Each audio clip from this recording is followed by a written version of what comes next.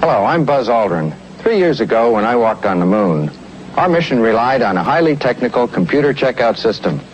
This told Mission Control and us exactly what was right or wrong in our space vehicle. I've been asked my opinion of a similar system built into another vehicle here on Earth. Built into every 1972 Volkswagen is a network of sensors leading to one central socket.